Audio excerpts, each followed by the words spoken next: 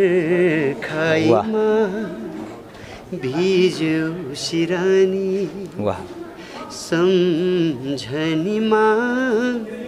बित्यो सपनी। चाँडै फर्किया।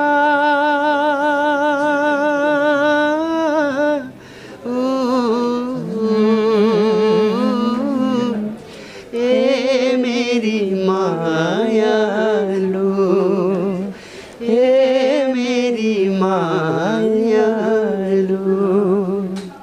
सनिस पनि निराश भएको छुइनँ म पनि निराश भएको छुइनँ किनभने दर्शक श्रोताहरू चाहिँ ए होइन अब यस्तो हो यो त अब भोटिङको कुरा हो होइन किनभने अब जति धेरै भोट आयो त्यही हिसाबले गर्ने हो होइन गर्दाखेरि अब यसमा अब निराश नहुनुहोस् बरु अझै सनिसलाई तपाईँलाई त्यस्तो छ भने अझै प्रोत्साहन दिनुहोस् होइन।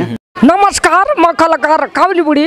यति बेला तपाईँहरू फालेलुङ टिभी हेर्दै हुनुहुन्छ फालेलुङ टिभीलाई लाइक सेयर सब्सक्राइब अनि कमेन्ट गरेर साथ दिनुहोला। हस् त धन्यवाद नमस्कार। शिक्षा सूचना र मनोरञ्जनको लागि फालेलुङ टिभी। पछिल्लो समय चाहिँ द भोइस अफ नेपालले उहाँको नामलाई अर्को उपमा पनि दिएको छ जोजो भनेर एकदमै कर्णप्रिय हुनुहुन्छ लोकप्रिय हुनुहुन्छ जोजोको नामले पनि उहाँ स्थापित भइसक्नु भएको छ।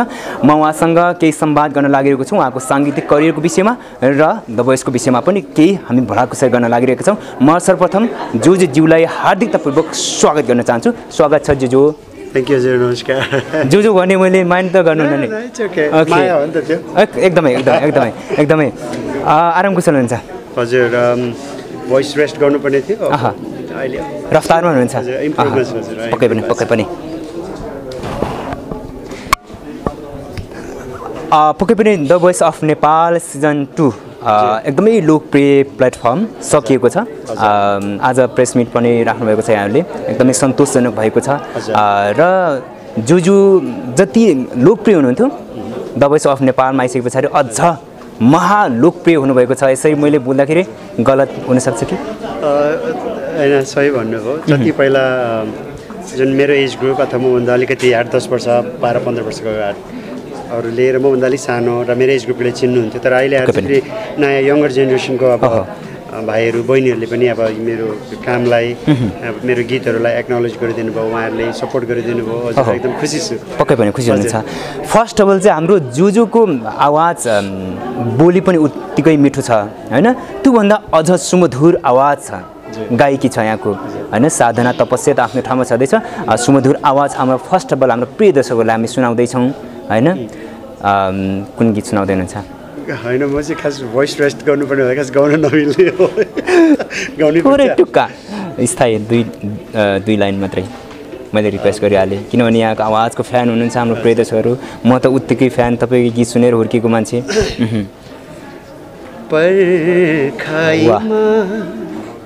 भिज्यो सिरानी वाह। सम्झनीमा बित्यो सपनी। चाँडै फर्किया।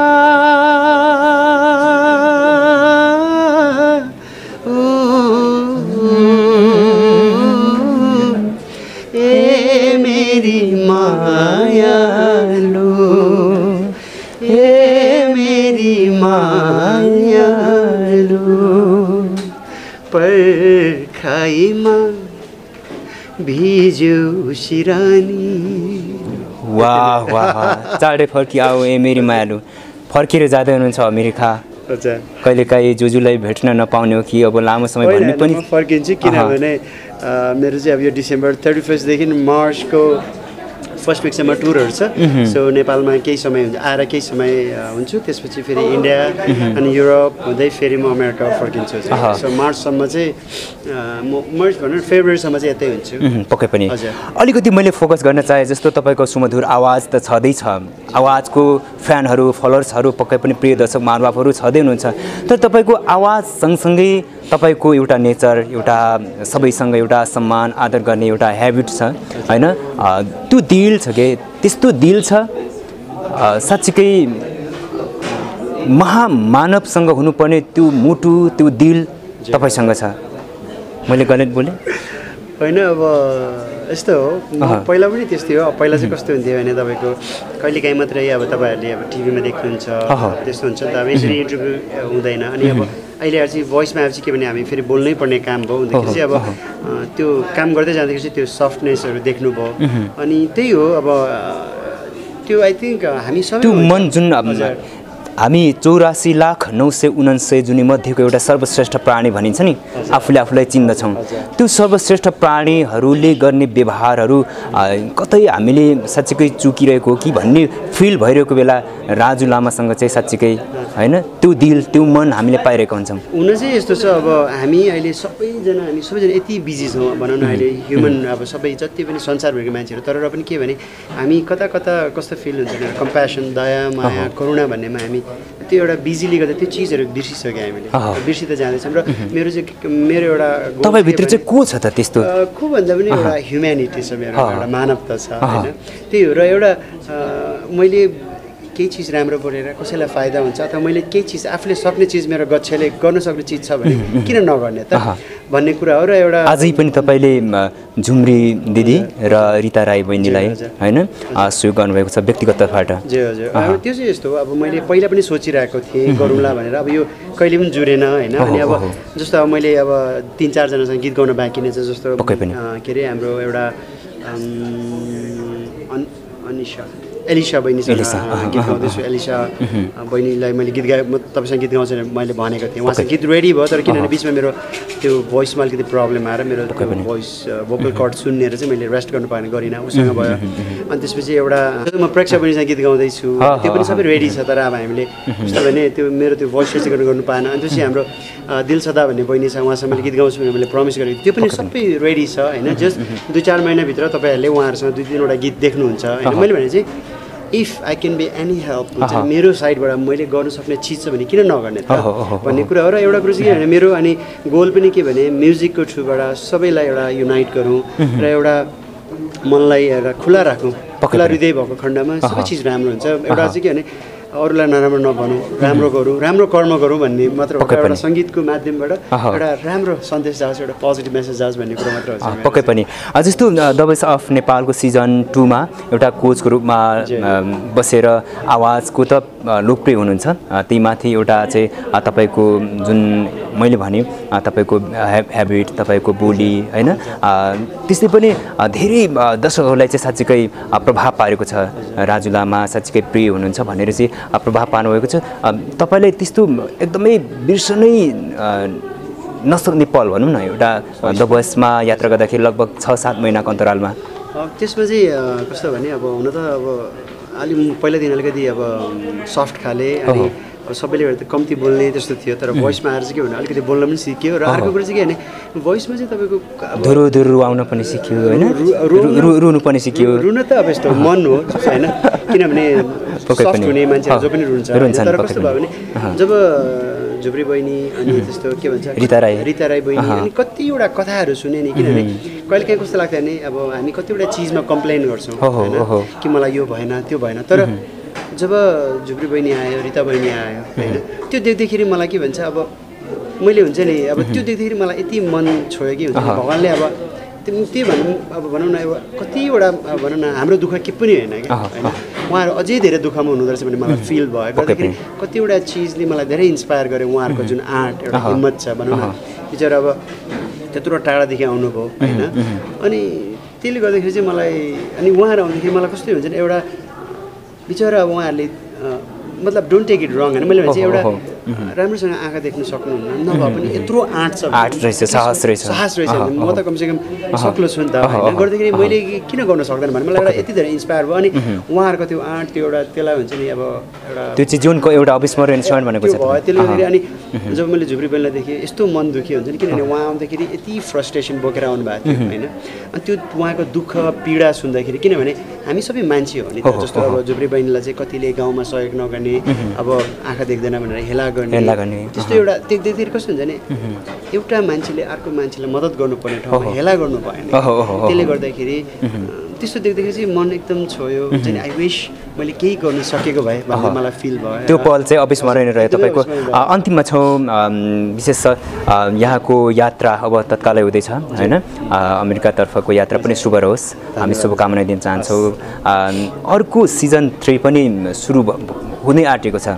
सिजन थ्रीमा चाहिँ तपाईँ कोचको रूपमा यति प्रिय कमाउनु भएको छ सिजन टूबाट। तपाईँलाई पाउन सकिन्छ कि के छ? अब त्यो चाहिँ मैले अहिले भन्न मिल्दैन हजुर। किनभने यस्तो छ अब खासै वान इयरको कन्ट्र्याक्ट हो। सो यदि भइहाल्यो भने भइहाल्यो भइहालेन भइहालेन भने पनि मलाई यसको चाहिँ दुःख मन के पनि छैन किनभने यति यो यात्रा चाहिँ यति सहज भयो। सबैको सहयोगले तपाईँहरूको सहयोगले। द भोइसको टिमलाई सम्झिदिनुहोस् भन्नुहुन्छ कि फेरि होइन अब मैले अब सम्झिनु भयो भने खुसी। सम्झेन। भने केही छैन हामी इष्टमित्र। हौँ। किनभने सम्बन्ध भनेको यस्तो होस् हुन्छ नि अबको बिस वर्ष पच्चिस वर्षपछि भेट्दा पनि खुसीले हुन्छ नि नमस्कार। हजुर हेलो हजुर के छ भन्ने सकोस् होइन। त्यही हो अनि धन्यवाद अनि मेरो कामलाई यति धेरै मन पराइदिनु भयो तपाईँहरू सबैले पनि भनौँ न अब संसारका विभिन्न ठाउँहरूमा मलाई पुऱ्याइदिनु भयो एउटा। माध्यम भएर। होइन कतिखेरि त्यही हो तपाईँहरू तपाईँ हाम्रो सम्बन्ध। हाम्रो श्रोताहरूको सम्बन्ध सधैँभरि। यसै रहिरहोस् अमर रहिरहोस् होइन रहिरहोस् त्यही हो okay thank you so much यहाँको यो संवादको लागि र यहाँको सुमधुर आवाजको लागि पनि. मैले यो बसाइमा तपाईँलाई सोध्नलाई केही छुट्याएका र। तपाईँको मनमा भनौँ भनौँ लाग्ने केही प्रिय दर्शकहरूको लागि तपाईँको फलोवर्स भ्युवर्सहरूको लागि छ भने प्लिज उहाँहरूलाई त्यही हो मैले भने नि अब मेन कुरो त अब मलाई यति धेरै मेरो टिमलाई मेरो मेरो खासै भनौँ यो स्पेसली यो भोइसमा चाहिँ मेरो जति पनि ट्यालेन्टहरू हुनुहुन्छ उहाँहरूलाई यति धेरै सपोर्ट गरिदिनु भयो लास्ट आवरसम्म उहाँहरूले भोट गरिदिनु भयो होइन अब जित्ने हार्ने आफ्नो ठाउँमा छ तर उहाँहरूले यति धेरै विश्वास गरेर यति धेरै माया गरेर त्यहाँसम्म पुऱ्याइदिनु भयो। यसको लागि धेरै धेरै धन्यवाद र अर्को कुरा चाहिँ के भने मेरो कामलाई यति धेरै माया गरिदिनु भयो। यसको लागि धेरै धेरै धन्यवाद। मेरो ब्यान्डलाई विश्वास गर्नुभयो मलाई विश्वास गर्नुभयो यो चाहिँ अब सधैँभरि रहिरहोस्। र अनि म पनि उहाँहरूले दिनुभएको मायालाई आफ्नो हृदयमा राखेर। आफ्नो विवेकले भ्याएसम्म राम्रो सङ्गीत र राम्रो सृजना दिने प्रयास गर्छु। र उहाँहरू सबैजनालाई धेरै धेरै धन्यवाद। नमस्कार। चाहिँ शनि श्रेष्ठले म्याजिक मार्ला कि भनेर आम दर्शकहरूले आग्रह गरेको अनि उहाँहरू निराश हुनुभयो नि के भन्नुहुन्छ निरा ए होइन सनिस पनि निराश भएको छुइनँ म पनि निराश भएको छुइनँ किनभने दर्शक श्रोताहरू चाहिँ ए होइन अब यस्तो हो यो त अब भोटिङको कुरा हो होइन किनभने अब जति धेरै भोट आयो त्यही हिसाबले गर्ने हो होइन गर्दाखेरि अब यसमा अब निराश नहुनुहोस् बरु अझै सनिसलाई तपाईँलाई त्यस्तो छ भने अझै प्रोत्साहन दिनुहोस् होइन किनभने अ, कहिलेकाहीँ चाहिँ हुन्छ नि अब जित्नु मात्र सबै कुरा हुँदैन। अफकोर्स जित भयो भने definitely it's it's a nice thing तर के भने जिन्दगीमा हिँड्दै जाँदाखेरि लडिन्छ। तर लड्यो भन्दैमा बाटै अब हिँड्दै नहिँड्ने भन्ने कुरा हुँदैन। उठेर हिँडिन्छ। त्यही हो मेन कुरा चाहिँ तपाईँहरूको साथ सपोर्ट चाहिँ यसरी नै अगाडिसम्म अ, तपाईँहरूले दिनुभयो भने डेफिनेटली सनिस जुन उचाइमा अहिले छ त्योभन्दा धेरै माथि पुग्छ जस्तो मलाई लाग्छ मलाई विश्वास छ। त्यसले गर्दाखेरि र अर्को विश्वास चाहिँ के भने निराश हुनुपर्ने केही पनि छैन। किनभने हामी यो फिनालीसम्म आइपुग्नु यो पनि एउटा विनर भएको सर हो भने। चारजना जो जो हुनुहुन्थ्यो हामी चारैजना विनर हो। अब हो एउटा टाइटलको हकदार हुन एकजना थियो। उहाँले अब भनौँ राम भाइले पाउनुभयो। र राम भाइलाई हामी सबैको तर्फबाट धेरै धेरै शुभकामना र उहाँको साङ्गीतिक यात्राको लागि पनि धेरै धेरै शुभकामना। हस् थ्याङ्क यू सो मच खुसी बस्नुहोस् त्यही हो thank you okay thank you नयाँ नयाँ सामग्रीको लागि कृपया हाम्रो च्यानललाई सब्सक्राइब गरिदिनुहोला र त्यसपछि आउने बेल बटनलाई क्लिक गरिदिनुहोला।